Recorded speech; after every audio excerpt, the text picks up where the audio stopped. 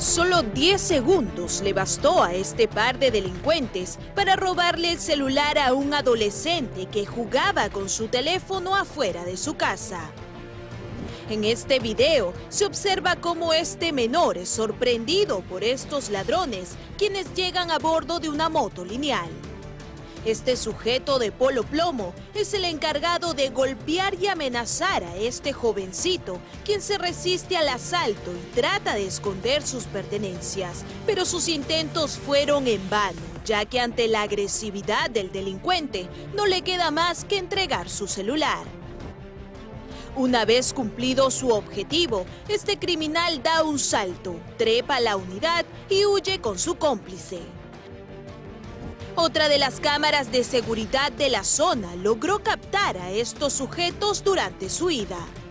Es en la esquina de esta vivienda ubicada en la calle Godofredo García, en el distrito de Los Olivos, en donde este menor de edad fue asaltado por dos delincuentes quienes aprovecharon que la puerta de esta reja estaba abierta para ingresar a cometer sus delitos. Estas rejas que fueron instaladas por los propios vecinos de la urbanización Micaela Bastidas no ha logrado detener a los delincuentes.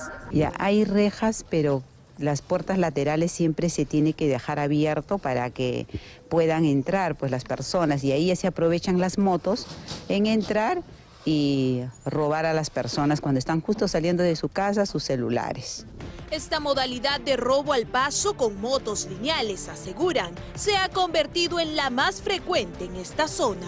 Antes era tranquilo, pero ahora sí se está volviendo demasiado peligroso. Demasiado peligroso. Vienen a robar en moto, más es en moto, que es lo que se está poniendo de moda casi en todo el país, ¿no? Ellos piden mano dura contra estos criminales que los han obligado a vivir enrejados y hasta con temor de salir de sus propias casas. No, no, no tenemos apoyo de la municipalidad en cuanto a cámaras. Deberíamos tener cámaras en calles, cosa que así ven el rostro de la persona y lo pueden capturar.